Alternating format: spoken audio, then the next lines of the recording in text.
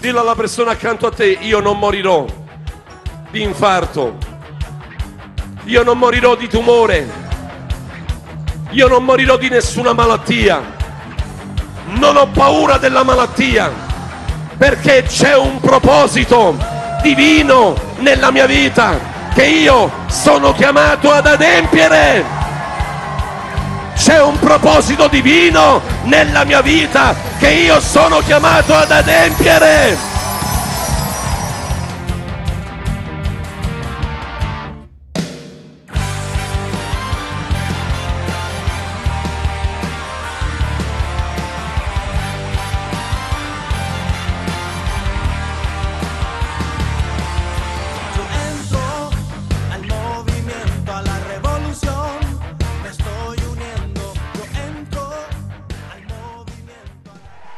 La sorella Maria oggi si è svegliata con forti dolori addominali, ha avuto sì, molti dolori allo stomaco.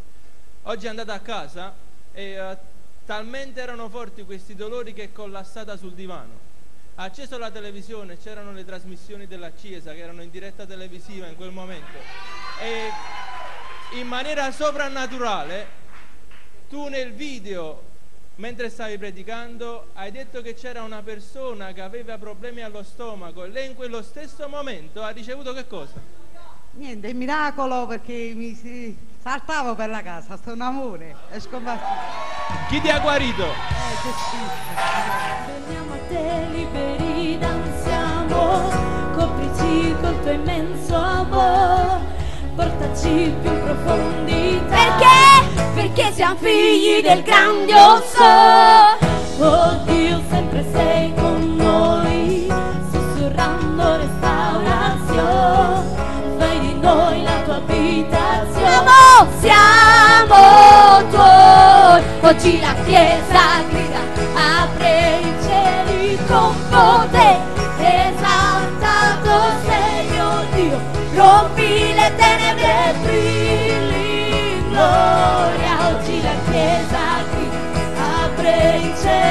con potere. Esaltato sei, oh Dio, rompi le tenebre brilli in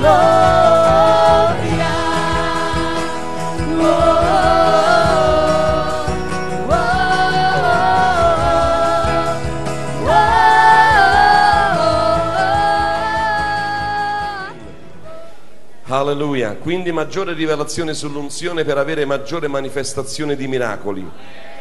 Amen. Maggiore rivelazione sull'unzione per avere maggiore rivelazione, manifestazione di miracoli. Amen. La Bibbia dice che noi siamo re, sacerdoti e profeti. Amen. Ora dobbiamo comprendere una cosa molto importante. Cosa fanno i re? Governano. Amen. Tu se tu sei un re o una regina, tu sei destinato o destinata a regnare. Amen. I re hanno un regno, fanno parte del regno di Dio. Gesù ha detto che lui è il re dei re. Noi facciamo parte del suo regno, siamo destinati a governare, a regnare. Amen. Cosa fanno i profeti? I profeti parlano la parola di Dio, dichiarano le cose come Dio le dichiara. E sapete, oggi nella nostra città, nella nostra nazione c'è bisogno che non venga dichiarata incredulità, paura, dubbi, perché per secoli sono state dichiarate queste opere tenebrose, ma oggi c'è bisogno che uomini e donne ripiene dello Spirito Santo, i figli di Dio, possano dichiarare come profeti quella che è la parola dell'Eterno. Amen. I profeti non dicono forse, i profeti dicono così dice l'Eterno. È una certezza, è una certezza, dillo, è una certezza. Amen. E i sacerdoti, cosa fanno i sacerdoti? Adorano, offrendo sacrifici, spirituali all'Eterno. Amen. Cosa fanno i sacerdoti? Adorano. Dio è l'Iddio dei miracoli. Noi stiamo alla ricerca di Dio e Dio manifesta i miracoli. Amen. Noi amiamo Dio e Dio si manifesta nella Chiesa. Dio si manifesta nel nostro mezzo, come stamattina sono successi tanti, tanti miracoli. Ma Dio mi ha detto una cosa, il problema che voi avete è l'incredulità. Non ci credete, non ci credete, non ci credete quando viene rilasciata la parola di Dio. Avete più fiducia in quello che vi dicono le carte che in quello che vi dice la Bibbia.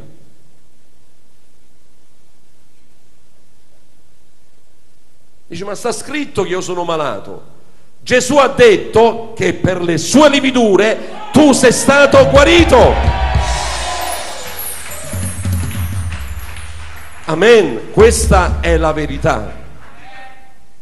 Questo è quello che tu devi afferrare nella tua vita. Quello che Gesù ha detto. È più importante come ti senti o quello che Gesù ha detto? È più importante quello che pensi tu o quello che Gesù dice? Amen. È più importante il sintomo che hai nel tuo corpo o quello che Gesù ha detto e l'Apostolo Pietro ha ripetuto per le sue lividure? Voi siete stati. Non dice sarete, dice siete stati parla al passato, siete stati guariti. Non dice sarete guariti, ma dice che sei già stato, già stata guarita. Amen. Dillo, io sono guarita. Io ho salute perché il mio Dio è colui che mi ha guarito e mi dà salute nel mio corpo. Amen. Quindi siamo re, sacerdoti e profeti. Ma per tutti, questo è per tutti quanti noi, perché ognuno di noi, per operare come re, sacerdoti e profeti, abbiamo bisogno di unzione. Dell'unzione. Cos'è l'unzione? È la potenza soprannaturale di Dio non è abilità umana, non è capacità umana, è soprannaturale. È la potenza soprannaturale dell'Iddio onnipotente che viene e manifesta la sua potenza. Amen. L'unzione è sostanza. Tu puoi sentire olio sul tuo corpo, puoi sentire olio su di te. Dio riversa la sua unzione. Amen. Come scritto in Ebrei 11, quando parla della fede, or la fede è certezza, nel testo originale la fede è sostanza. Amen. Dillo, la fede è una sostanza. Si sente, si vede, si sperimenta nel mondo spirituale. Non la vedi con gli occhi naturali, ma la vedi e la senti e la sperimenti con gli occhi dello spirito, perché è una sostanza divina è una sostanza sovrannaturale. Amen. Ora parlandovi dell'unzione voglio parlarvi di, brevemente di un re di Israele. Davide, dite Davide. Davide fu il secondo re di Israele. Davide fu unto per ben tre volte. Sapete anche Samuele, o oh, scusate, Saul, il primo di Israele, fu unto. Però ci fu una differenza tra Davide e Saul. Sapete, Davide venne unto con un corno, attraverso un corno d'olio, che era un corno di montone, che adesso vi spiego, mentre Saul venne unto attraverso un bicchierino. Cioè quello che conteneva un corno era molto di più di quello che conteneva un bicchiere. Amen. Quindi l'unzione che c'era dentro al bicchiere, giusto giusto gli coprì la testa al re Saul ma quando venne versata l'unzione su Davide e quindi l'intero corno attraversò tutto il suo corpo. Dillo attraversò tutto il suo corpo. Spegnete i telefonini. Amen. Dillo di nuovo, attraversò tutto il suo corpo. Quindi per trattare questo argomento possiamo parlare come esempio, dicevamo Davide. Davide ebbe tre tipi di unzione, entrambi le tre unzioni erano unzioni regali, perché esiste l'unzione sacerdotale, l'unzione regale e l'unzione del lebroso, che tutti i credenti hanno. Ma Davide fu unto, oltre che con quelle unzioni, tutte queste tre unzioni erano unzioni regali. Samuele lo unse in occasione quando lo andò a visitare a casa. Non so se conoscete la storia, non so se conoscete la Bibbia, lì la trovate la storia. Amen. Leggete la Bibbia. Dilla alla persona accanto a te, divorati la Bibbia. Divorati la parola di Dio. Non essere ignorante. Diglielo. Non essere ignorante. E diteglielo. Divoratela. Perché la Bibbia è scritto in Osea che il popolo muore per ignoranza. Se tu sei ignorante tu muori per mancanza di conoscenza, cioè ignoranza. Amen. Non la deve conoscere uno nella tua famiglia, è sufficiente, la devi conoscere tu. Amen. Quindi, se voi leggete in Samuele, si parla dell'unzione che ricevette Davide, la prima unzione, e la prima volta fu unto sui suoi fratelli. Conoscete la storia, alcuni, ma vennero chiamati da Samuele. Da- Samuele andò a casa di Sai, padre di Davide, e quando vide i suoi fratelli, i figli di Isai, papà di Samuele, scusate, papà di Davide, Dio disse a quello che era il più robusto, più forte, disse Dio no. Dice, ma pareva chista però, Signore. Secondo, terzo, quarto e così via. Dice, ma sono tutti qua i tuoi figli perché non può essere che Dio mi ha mandato in un posto sbagliato. Ha detto no, c'è l'ultimo che sta a pascolare le pecore e disse fallo venire subito perché non ci siederemo, non mangeremo, non ci metteremo a tavola se non viene lui. Appena che entrò dalla porta, Dio gli disse, questo è il futuro re di Israele. Questo fu la prima volta che fu unto sui suoi fratelli. Io ringrazio Dio perché si è usato di, del fratello Ugo appunto perché mh, io sono un, ehm, ho fatto un concorso nelle forze armate. Questo concorso purtroppo non è andato nel migliore dei modi, però Dio si è usato di un avvocato che è andato contro questo concorso e quindi ha messo la sua parola contro un ministero, in questo caso il Ministero dell'Interno. Quindi ringraziando a Dio veramente il primo ricorso è andato male, il secondo dopo tanti digiuni, preghiere, quando il primo è andato male io sono caduto e come dice la parola quando uno cade l'altro lo rialza, ci siamo rialzati, abbiamo digiunato, abbiamo pregato, abbiamo fatto intercessione, non ci siamo mai bloccati, ci siamo alzati e grazie a Dio abbiamo avuto la vittoria. L'udienza è il giorno 10 e mercoledì scorso abbiamo avuto già la, la conferma che è stato vinto, quindi ora aspetto solo la conferma per le visite. Alleluia. Volevo spiegare un po' meglio la, un po' meglio la cosa. Martedì siamo venuti qui al tabernacolo. Mio marito si è messo sulla cartina di Roma perché è lì che c'è il Consiglio di Stato e è- ha iniziato a pregare. Noi l'udienza, la risposta la dovevamo sapere il 10 novembre eh, in un modo miracoloso perché non, cioè, il 10 si doveva sapere, prima non si poteva sapere. Noi torniamo a casa il giorno dopo del tabernacolo e, e riceviamo, leggiamo su Facebook che il Consiglio di Stato smentisce il TAR del Lazio accettando tutte le prove fisiche. E un altro miracolo è questo, che circa coloro che dovevano vincere tutto erano circa 8.000 persone. Ora lui doveva andare a fare le prove fisiche con 8.000 persone, ma Dio è stato fedele perché hanno accettato solo i ricorrenti che sono circa 200-300 persone. La seconda volta su Giuda fu. C'è una delle dodici tribù di Israele. Lui era della tribù di Giuda e venne unto su quella tribù.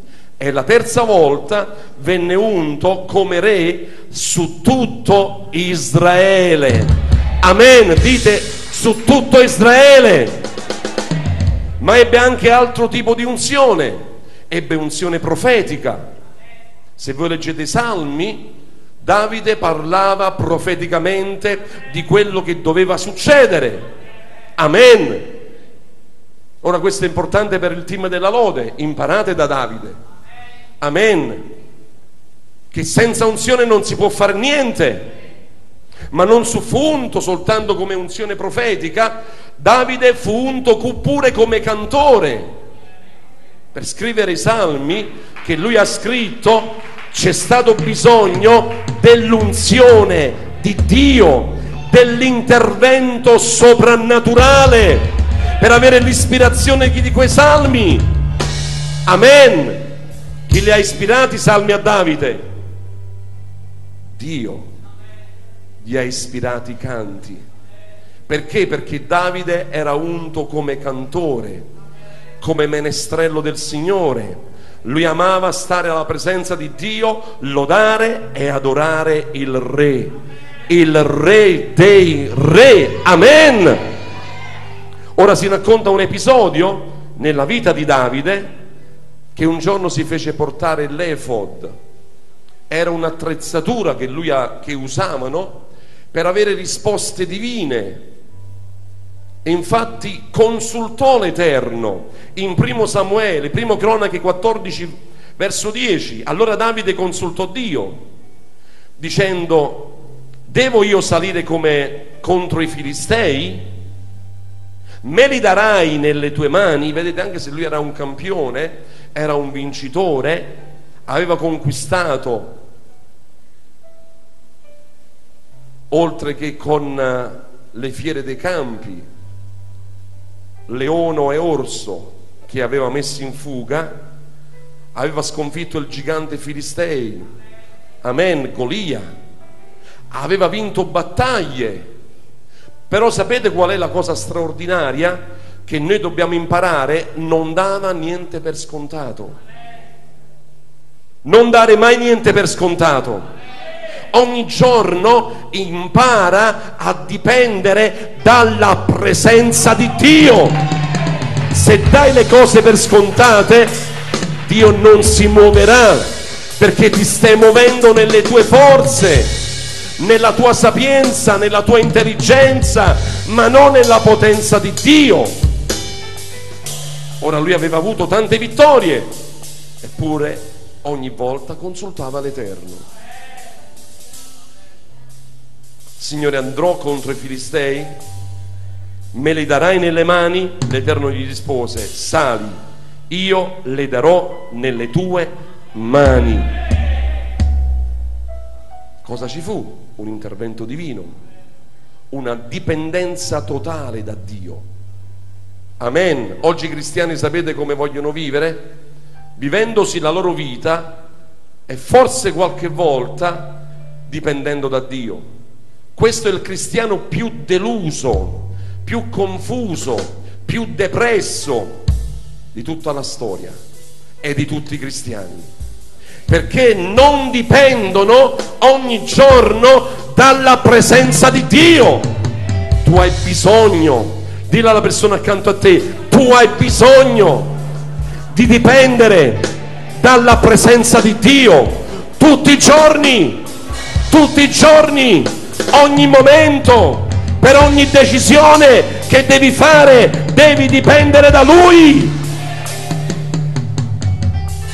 Da Davide noi possiamo imparare come muoversi, come vivere nell'unzione. Cioè cos'è l'unzione? È la potenza soprannaturale di Dio. Non è la tua capacità né la tua abilità naturale. Amen. Gesù è re, profeta e sacerdote. Amen. Però qui c'è una R maiuscola, una P maiuscola e una S maiuscola. Amen. Lui è il re. Lui è il profeta. Lui è il sacerdote che parla la parola di Dio e dichiara la volontà di Dio. Quanti di voi siete figli di Dio? Lo sapete che siete eredi? Eredi di Dio? Coeredi di Cristo? Qual è la vostra eredità? Tu sei un re, una regina, tu sei un profeta, tu sei un sacerdote. Questa è la tua eredità come figlio di Dio. Dillo, questa è la mia eredità come figlio di Dio. Amen. Dillo, questa è la mia eredità. Re, profeta, sacerdote. Primo Samuele, capitolo 16, verso 13. Qui è quando Davide viene unto. Impariamo qualcosa di importante. Dillo, sto qui per imparare stamattina. Amen. Allora Samuele prese il corno dell'olio. Prima di ogni altra cosa, da dove prese questo corno? Da un animale che si chiamava montone, ma precisamente da un animale che era stato sacrificato. Solo una sorella ha avuto rivelazioni. Se non c'è sacrificio, non scende unzione. Dillo, se non c'è sacrificio, non scende unzione. Non da un animale qualsiasi, ma da un animale, da un montone che era stato offerto a Dio in sacrificio. Ora dalle corna del montone venivano anche fatti strumenti musicali. Non so se dico bene. Lo shofar. Quello che si sente non so se c'è uno shofar.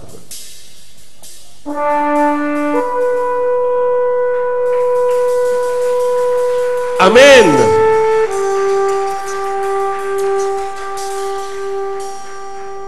E dal un corno più piccolo, perché questo era enorme, veniva usato per l'unzione. All'interno di questo corno mettevano olio. Questo è come fu unto Davide. Ora voi immaginate la rivelazione potente attraverso il sacrificio. Vedete? Un montone viene sacrificato, un corno viene preso, tagliato, all'interno c'era unzione, venne riversato su Davide. Amen. Se non sale sacrificio, non scende unzione. Dillo, se non sale sacrificio, non scende unzione. Dio ci ha chiamati ad essere profeti, re e sacerdoti. Amen. Ma queste funzioni devono operare nell'unzione che Lui ci ha provveduto. E Dio ti sta dicendo stamattina la tua resa. La tua resa è vitale. La tua resa è importantissima, è fondamentale affinché l'unzione si possa riversare su di te e manifestare attraverso la tua vita. Amen. Quindi questa è la prima lezione che impariamo. Prima che Davide viene unto da Samuele, c'è un'offerta. Meglio dire, c'è un sacrificio. Se non c'è sacrificio, non scende unzione. Amen. Dillo, se non c'è sacrificio, non scende unzione. Se tu pensi che fino adesso hai fatto sacrifici, sappi che non hai fatto niente. Perché dove c'è sacrificio c'è unzione e dove c'è unzione c'è il soprannaturale. C'è il soprannaturale attraverso la tua vita. Dillo attraverso di me si manifesta il soprannaturale. Ma cari miei, oggi se noi siamo unti è grazie al sacrificio perfetto che Gesù, l'agnello di Dio, ha fatto per noi. Amen. L'agnello di Dio ha offerto per noi. Allora Samuele prese il corno d'olio e lo unse in mezzo ai suoi fratelli. Da quel giorno in poi lo Spirito dell'Eterno investì Davide. Amen. Cioè, è come se per capire investire, è come se nel naturale fai un incidente, boom, un- una macchina la, la trovi, la trovi, la prendi di faccia. Boom. Amen. Quando sei investito dallo Spirito di Dio, tu sai che sei stato investito dalla sua potenza soprannaturale. Amen. Da quel giorno in poi, non prima, ma da quel momento, dal momento che Samuele lo unse, lo Spirito dell'Eterno lo investì. Amen. Ora cari, non tutti, né tutte le cose vengono unte. Amen. Vengono unti i figli. Perché Dio gli dà un'abilità per muoversi nel potere soprannaturale. Dillo perché Dio mi dà un'abilità per muovermi nel potere soprannaturale. Ora l'unzione è importante. L'unzione è utile, dille l'unzione è importante e utile. Sapete per chi? Per quelli che conoscono il proposito di Dio. Se tu non sai il proposito di Dio per la tua vita, a te non serve l'unzione, non ne hai bisogno l'unzione. Ma quando tu sai quello che è il proposito che Dio ha preparato per te, tu hai bisogno di unzione. Ma voglio chiarirvi questo. Dio ha un proposito per ogni suo figlio. Dio ha un proposito per me. Ora voglio farti una domanda e sii sincero. Quanti di voi conoscete il proposito di Dio per la vostra vita? Alzate le vostre mani. Quelli che non lo conoscono, è buono che tu inizi a cercare Dio per capire quello che è il proposito di Dio per la tua vita. Lui non te lo vuole dare tra vent'anni, te lo vuole dare adesso. Tu hai bisogno di conoscerlo adesso, perché se tu non sai il proposito, tu non puoi funzionare, non puoi muoverti nell'unzione. Perché l'unzione ti sarà data per fare che cosa? Adempiere un proposito. Dillo, adempiere un proposito. Amen. Hai bisogno di conoscere il proposito. Amen. Pace a tutti, buonasera. Domenica scorsa, a fine culto, la pastora diede una parola specifica. Un attimo disse, qui c'è una persona che stasera ha il fuoco di Dio nelle parti intime. E io posso testimoniare come domenica scorsa stavo venendo meno nelle gambe per il fuoco di Dio che c'era su di me. E come so che aprile ho avuto queste operazioni nelle parti intime e solo mia moglie mi era accanto e sa quanto ho sofferto per questo problema. Poteva indirizzare la mia vita in un modo negativo con sterilità, problemi alla prostata e quant'altro. Grazie a Dio questo problema ora è solo ricordo. Gloria a Dio.